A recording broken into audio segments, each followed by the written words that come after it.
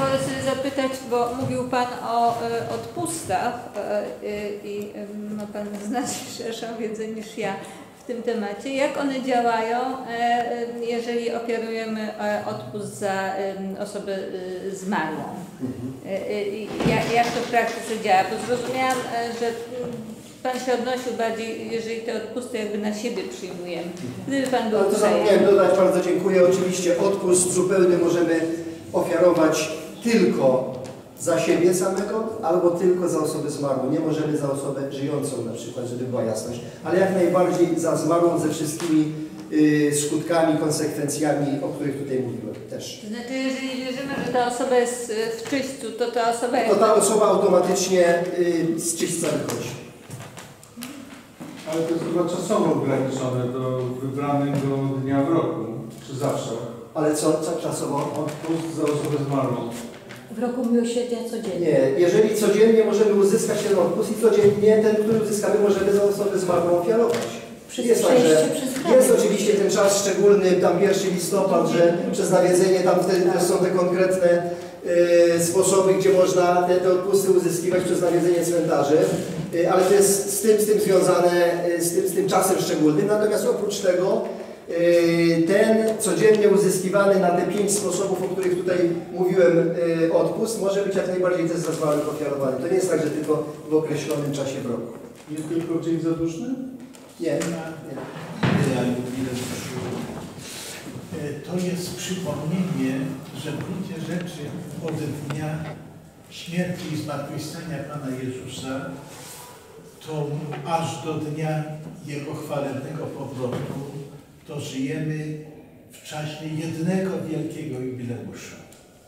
O tym y, mówi już prorok Izajasz i co bardzo ważne, że sam Pan Jezus ten tekst cytuje i odnosi do siebie. To jest czwarty rozdział Ewangelii Łukasza. Pan Jezus jest w synagodze w Nazarecie i, i poproszono go jakiś czynny udział w tym nabożeństwie. On kazał sobie podać Księgę Izajasza i czyta następujące proroctwo. Duch Pański stąpił na mnie, ponieważ mnie namaścił, abym głosił dobrą nowinę ubogim, y, głosił. otwierał oczy niewidomym, prawda, trędowatych, oczyszczał, ja już dokładnie nie cytuję, i obwieszczał rok łaski od Pana. I ten rok łaski, to on się w gruncie rzeczy zaczął w dniu zmartwychwstania Pana Jezusa i wciąż trwa. I to jest na tym polega mądrość Kościoła, mądrość prowadzenia Kościoła przez Bożą Opatrzność, przez Ducha Świętego, że mamy w ogóle instytucję jubileuszu przypominającą nam o tym, jakby aktualizującą tę prawdę, że w ogóle czasy są jubileuszowe. Proszę Państwa, to coś trochę podobnego oczywiście, że porównanie jest y, kiepskie, jak rocznica małżeństwa. Przecież małżeństwo to się zawiera jeden, jedyny raz. A po co to rocznica? No bo to fantastycznie, że jesteśmy małżeństwem, prawda? To jest ładnie i to, i to jest pierwsze takie moje uzupełnienie, że tak się wyrażę, jakby kwadratowe. A drugie, bo czasem może nam się wydawać czymś takim no, no, no dziwnym, to takie otwieranie drzwi, prawda, ym, jubileuszowych. Tam jeszcze są takie zwyczaje, że skrzy, przepraszam, że, że wchodzę, będzie profesor skrzyneczkę się zamurowuje, bo te drzwi są zamurowywane ze stemplami, jest tam potem na- uroczyste odkucie, następuje szereg rzeczywiście jest obyczajów związanych, znaczy zwyczajów związanych. Otóż y, dobrze jest sobie przypomnieć, że sam Pan Jezus o sobie mówił, że On jest drzwiami. To jest Ewangelia Jana, rozdział 10. Ja jestem bramą owiec. I dalej, znaczy, szkoda, że nie mam w tej chwili Pisma Świętego przed sobą, bo bym tych parę bardzo ciekawych ciekawych zdań e, z tym związanych tutaj, tutaj teraz powiedział. Jeżeli idzie o odpusty, to będzie trzecie moje jakby takie dopowiedzenie.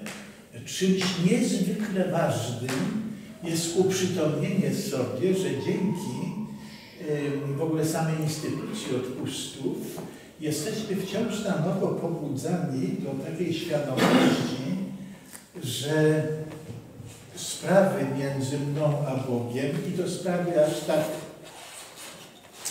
głęboko mnie czy innych dotyczące, że, że nawet obejmujące, obejmujące moje niewierności wobec Pana Boga, że to nie jest tylko moja sprawa osobista, tylko że e, tutaj e, e, otrzymuję i to mogę otrzymywać nieustannie ogromną pomoc od Kościoła. Ym, y, Odpusty jest to możliwość korzystania z tych zasług, które znajdują się niejako w skarbcu Kościoła. Tutaj w ogóle ten termin skarbiec stał się poniekąd terminem technicznym przy opisie, co to są odpusty. Mianowicie ten skarbiec Kościoła, na który się składają zasługi Pana Jezusa, czyli skarbiec nieskończony.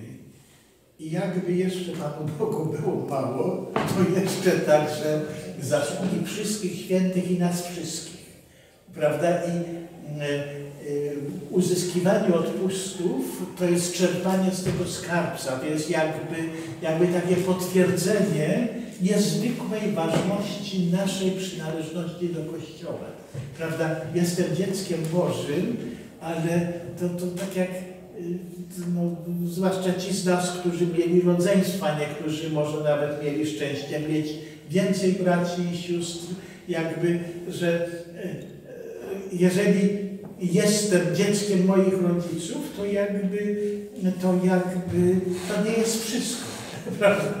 Jestem dzieckiem moich rodziców, ale, ale z tego, e, z tym jest związane coś o wiele więcej, to znaczy yy, przy okazji, to jest złe powiedzenie, ale tak lepszego nie, nie widzę, a przy okazji także, także bratem no, no, no, tych, tych, tych, tych, tych różnych ogromnie ym, sympatycznych istotek, które nazywam braćmi i siostrami.